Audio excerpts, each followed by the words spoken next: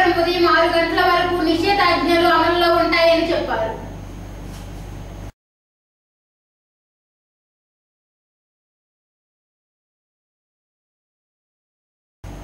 అసలు శాసన మండలి ఏర్పాటు చేసింది ఎందుకు?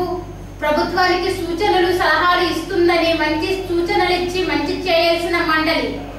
మంచినే అడ్డుకుంటే అది ఉండాలా రద్దు చేయాలని ముఖ్యమంత్రి వైఎస్ జగన్మోహన్ ప్రశ్నించారు. పాలనా వికేంద్రీకరణ సిఆర్డిఏ బిల్లులను మండలి సెలెక్ట్ కమిటీ పంపడంపై గురువారం అసెంబ్లీలో జరిగిన చర్చల్లో ఆయన ప్రసంగించారు. మండలి ఉండాలా వద్దా అన్న దానిపై తుది నిర్ణయం తీసుకునేందుకు సోమవారం అసెంబ్లీలో ప్రత్యేకంగా చర్చ పెట్టాలని ఆ రోజు నిర్ణయం. ఆ రోజు నిర్ణయం తీసుకుందామని సభాపతి తమ్మినేని సీతారామన్ సీఎం కోరారు. దానికి స్పీకర్ సానుకూలంగా స్పందించారు. ఇరవై ఏడో తేదీ ఉదయం పదకొండు గంటలకు సభను సమావేశపరుస్తామన్నట్లు ప్రకటించారు. శాసనసభ్యుడిగా ఉన్న చంద్రబాబు మండలి గ్యాలరీలకు వచ్చి కూర్చోవలసిన అవసరం ఏమొచ్చింది? అక్కడ నుంచి వచ్చే సైగల ప్రక్రియ రాజకీయం చేశారా? ఈ దురుద్దేశంతో నిర్ణయించే మండలి ఉండాలా? రద్దు చేయాలా? అని ఎన్ని ఎన్నికల్లో గెలవలేకున్నా చట్టసభల్లో మేధావులకు ప్రాతినిధ్యం ఉండాలన్న ఉద్దేశంతో మండలిని ఏర్పాటు చేశారు. మండలిని రాష్ట్ర ప్రభుత్వాలే ఏర్పాటు చేసుకుంటాయి. దేశంలో కొన్ని రాష్ట్రాలనే మండలి ఉంది. ఇక్కడ మన సభలో మేధావులు డాక్టర్లు వైద్యులు పోస్ట్ గ్రాడ్యుయేటర్లు ఉపాధ్యాయులు న్యాయవాదులు రైతులు పాత్రికేయులు విదేశాల నుంచి తిరిగి వచ్చిన వారంతా ఉన్నారు. ఇక మండలి అవసరమా? ఎస్సీ ఎస్టీ కమిషన్ బిల్లులను తిరస్కరించారు. ఆంగ్ల మాధ్యమం బిల్లులను టీడీపీ శాసనసభలో సమర్థిస్తే ఆ పార్టీ వాళ్ళే మండలిలో వ్యతిరేకించారు. రాజకీయ దురుద్దేశంతో ఉన్న మండలి అవసరమా అని నిలదీశారు. నేను నిర్ణయం తీసుకున్నాను అని అన్నాడు అధ్యక్ష. అంటే తాను విచక్షణ అధికారాన్ని చట్టాన్ని ఉల్లంఘించేందుకు వాడాలని వాడాలని తానే చెబుతున్నాడు అధ్యక్ష. తనకున్న విచక్షణ అధికారాన్ని చట్టాన్ని ఉల్లంఘించేందుకు వాడానని తానే చెబుతున్నాడు అంటే discretion is use to violate the law not to strengthen the law అధ్యక్ష. ఇది డెమోక్రసీలో కరెక్టేనా అని చెప్పి అందరం కూడా ఆలోచన చేయాలి అధ్యక్ష. డిస్క్రిషన్ అనేది your using the discretion to violate a law not to strengthen the law అధ్యక్ష నేరుగా అధ్యక్ష టీడీపీ అధ్యక్షుడు అధ్యక్ష శాసనసభలో ప్రతిపక్ష నాయకుడు అధ్యక్ష మన చంద్రబాబు గారు తనకు సంబంధం లేని సభ గ్యాలరీలో కూర్చున్న అధ్యక్ష ఎవరికి ఎలాంటి ఆదేశాలు ఇవ్వటానికి ఎలాంటి సంకేతాలు ఇవ్వటానికి కూర్చున్నాడో మనందరం కూడా చూసాం అధ్యక్ష. అంటే అధ్యక్ష చట్టసభ చట్టం ప్రకారంగా నడుస్తోందా? లేక చట్టం పార్టీ ఇష్టాయిష్టాల ప్రకారం ఒక వ్యక్తి ఇష్ట ఇష్టాల ప్రకారం నడుస్తోందా అన్నది మనందరికీ కూడా కనిపించే విధంగా నిన్న జరిగిన తీరు అధ్యక్ష. అలాగే అధ్యక్ష శాసన మండలి ప్రజల ప్రభుత్వం ఇష్టాల ప్రకారం నడుస్తోందా?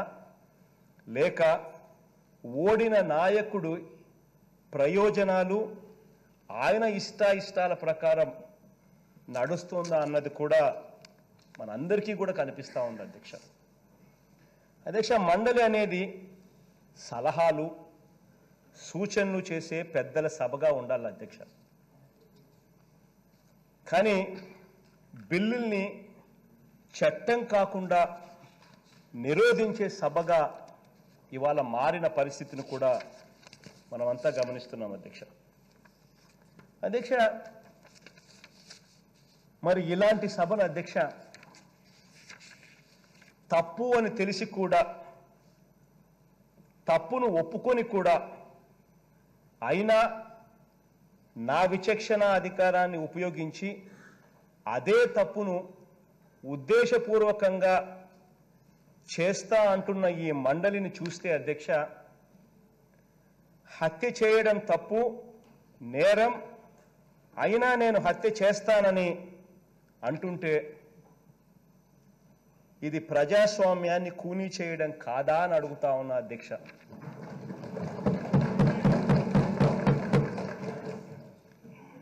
అధ్యక్ష ఇక ఆ తప్పును చెయ్యనివ్వకుండా మనం ఆపాలనా వద్దా అని కూడా ఆలోచన చేయాలని కూడా గట్టిగా అడుగుతా ఉన్నా అధ్యక్ష. అధ్యక్ష అప్పట్లో అధ్యక్ష రాజ్యాంగ రచన కోసం ఏర్పాటు చేసిన కాన్స్టిట్యూంట్ కాన్స్టిట్యూంట్ కాన్స్టిట్యూంట్ అసెంబ్లీ అధ్యక్ష అప్పట్లో రాష్ట్రాలలో రెండో సభ అంటే మండలి ఉండాలా వద్దా అనే చర్చలో అధ్యక్ష పది మంది సభ్యులు పాల్గొంటే అందులో మెజారిటీ సభ్యులు ఈ సభలకు ఎలాంటి ప్రాముఖ్యత ఉండదని ఇది అనవసరమని డబ్బు ఖర్చు తప్ప ప్ర- మరొక ప్రయోజనం ఉండదని అభిప్రాయపడ్డారు అధ్యక్ష. అధ్యక్ష ఇరవై ఎనిమిది రాష్ట్రాలలో అధ్యక్ష కేవలం ఆరు రాష్ట్రాల్లో మాత్రమే ఉన్న ఈ మండలి అధ్యక్ష విడిపోయిన మన రాష్ట్రానికి ఈ పేద రాష్ట్రానికి ఇది అవసరమా అని చెప్పి కూడా అందరం కూడా ఆలోచన చేయాల్సిన అవసరం కూడా ఉంది అధ్యక్ష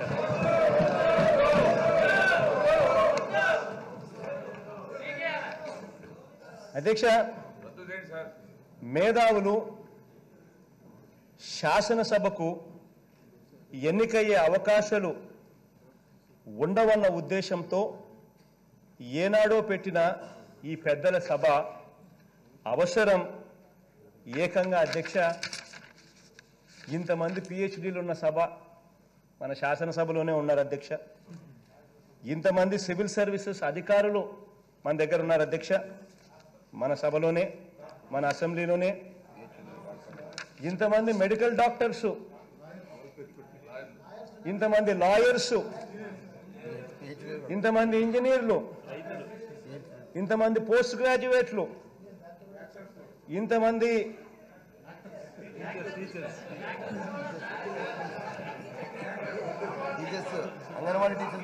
ఇంతమంది టీచర్స్ యాక్టర్లు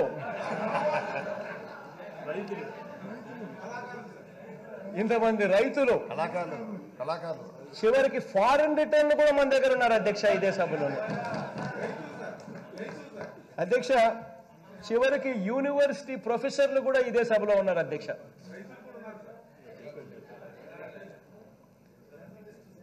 అందరికీ అన్నిటికీ మించి రైతులు ఉన్నారు అధ్యక్ష. జర్నలిస్టులు కూడా ఉన్నారు అధ్యక్ష ఇదే సభలోనే అధ్యక్ష ఇంతమంది విజ్ఞులు ఎన్నికైన సభ ఇక్కడే ఉన్నప్పుడు ఇక మండలి అవసరం ఏమిటి అని చెప్పి కూడా మనం అందరం కూడా సీరియస్గా ఆలోచన కూడా చేయాలి అధ్యక్ష. అధ్యక్ష మండలి కోసం అధ్యక్ష సంవత్సరానికి అరవై కోట్లు ఖర్చు చేస్తున్నాం అధ్యక్ష. అంటే అరవై రోజులు జరుగుతుంది అనుకుంటే సభ రోజు కోటి రూపాయలు అధ్యక్ష. రోజు కోటి రూపాయలు ఖర్చు చేస్తా ఉన్నాం అధ్యక్ష. అరవై రోజులు జరుగుతుంది అనుకుంటే సంవత్సరానికి అరవై కోట్ల అధ్యక్ష. అధ్యక్ష మరి ఇంత డబ్బు ఖర్చు చేయడం అసలే పేదరికంలో ఉన్న రాష్ట్రం అవసరమా అన్నది నిజంగా ఆలోచన కూడా చేయాలి అధ్యక్ష. అధ్యక్ష దేశంలో ఇరవై ఎనిమిది రాష్ట్రాలుంటే అధ్యక్ష కేవలం ఆరు రాష్ట్రాల్లో మాత్రమే ఈ మండళ్ళు ఉన్నాయి అధ్యక్ష. దేశంలో ఇరవై ఎనిమిది రాష్ట్రాలుంటే కేవలం ఆరు రాష్ట్రాల్లో మాత్రమే ఈ మండళ్ళు ఉన్నాయి ఇరవై రెండు రాష్ట్రాల్లో అసలు మండలాలు లేవు అధ్యక్ష. మండలే లేవు అధ్యక్ష. మరి ఇటువంటి సభలు ఉండాలా లేదా అని కూడా ఆలోచన చేయాలి అధ్యక్ష.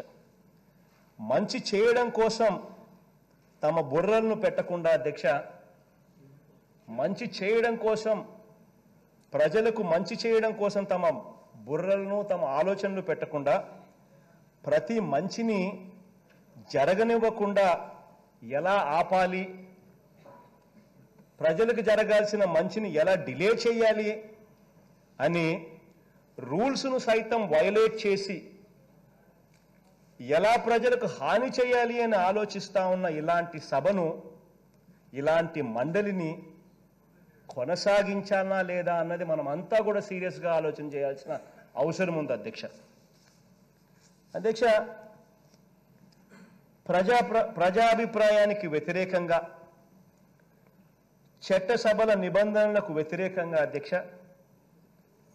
ప్రజలు ఎన్నుకున్న శాసనసభకు వ్యతిరేకంగా అధ్యక్ష చట్టంతోనూ రూల్స్తోనూ సంబంధం లేకుండా పనిచేస్తున్న ఈ మండలి ఇక కొనసాగించడం అవసరమా అని చెప్పి కూడా మనం అంతా కూడా గట్టిగా ఆలోచన చేయాల్సిన అవసరం కూడా ఉంది అధ్యక్ష.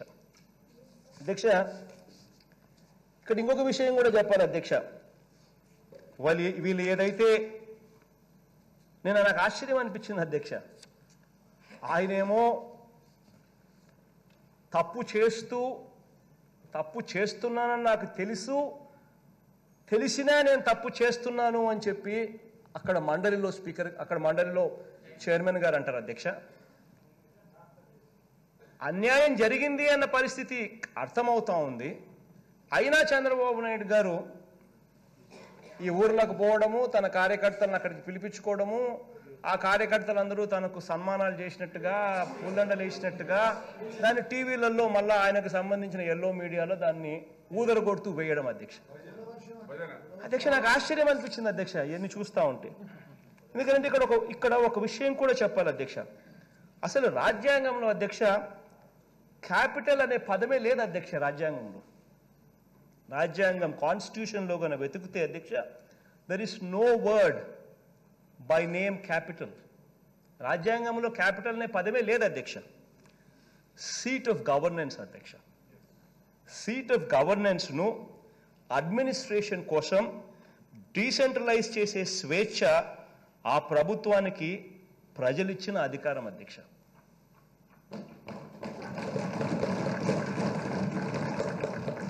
జయలలిత గారు బ్రతుకున్న రోజుల్లో ఊటీ నుంచి నడిపేది అధ్యక్ష ఆవిడ. తమిళనాడు రాజకీయాలు తమిళనాడు గవర్నెన్స్ను దర్ ఇస్ నో ఇప్పుడు ఇప్పుడు సడన్గా వరదలు వస్తాయి. వరదలు వచ్చి మొన్న పుదుగుదొచ్చినప్పుడు వచ్చినప్పుడు చంద్రబాబు నాయుడు గారు కూడా పది రోజులపై విశాఖపట్నంలో ఉన్నారు. సో గవర్నెన్స్ ఎక్కడి నుంచి జరిగింది? విశాఖపట్నం నుంచి జరిగింది. రేపు పొద్దున ఏదైనా కెలామిటీ వస్తుంది. ముఖ్యమంత్రి షిఫ్ట్ అవుతాడు. షిఫ్ట్ అయ్యి అక్కడ ఇరవై రోజులు ఉండాల్సి వస్తుంది. గవర్నెన్స్ ఎక్కడి నుంచి జరుగుతుంది? గవర్నెన్స్ ముఖ్యమంత్రి ఎక్కడుంటే అక్కడి నుంచి గవర్నెన్స్ జరుగుతుంది. అధ్యక్ష సీట్ ఆఫ్ గవర్నెన్స్ను అడ్మినిస్ట్రేషన్ కోసం డీ డీసెంట్రలైజ్ చేసే స్వేచ్ఛ ఆ ప్రభుత్వానికి ప్రజలు ఇచ్చిన అధికారం రాష్ట్రంలో ఎక్కడ కూర్చోనైనా కానీ పరిపాలన చేయొచ్చు. CM is the head of governance and CM is assisted by council of ministers and by the secretaries అధ్యక్ష which in turn is secretariat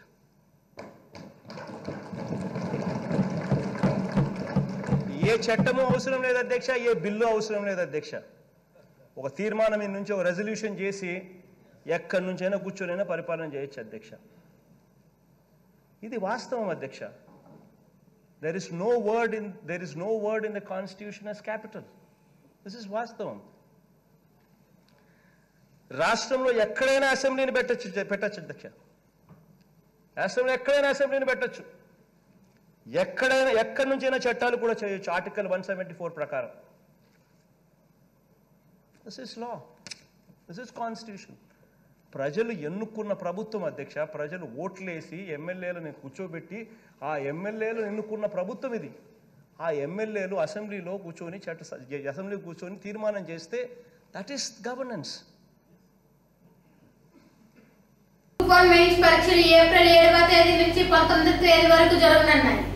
ఈ మేరకు ఆంధ్రప్రదేశ్ పబ్లిక్ సర్వీస్ కమిషనర్ కార్యదర్శి పిఎస్ఆర్ ఆంజనేయులు గురువారం రివైజ్డ్ షెడ్యూల్లో విడుదల చేశారు.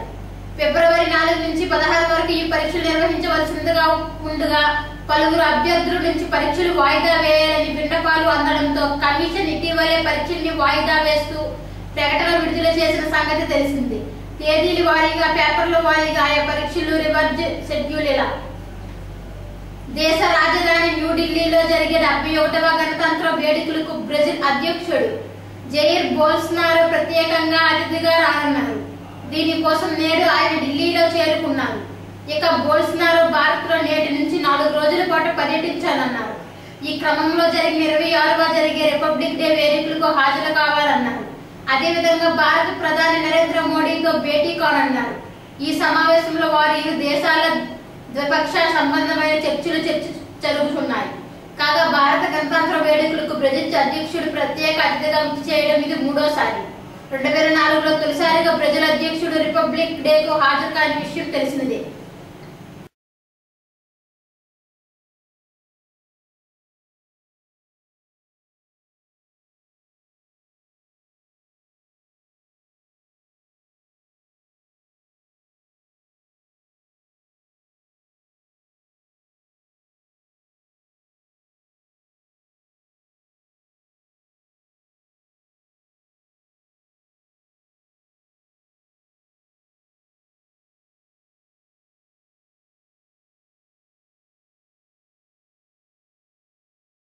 ఈ బుల్లెట్ ఇంతటితో సమాప్తం వేరే బుల్లెట్లో మళ్ళీ కలుద్దాం.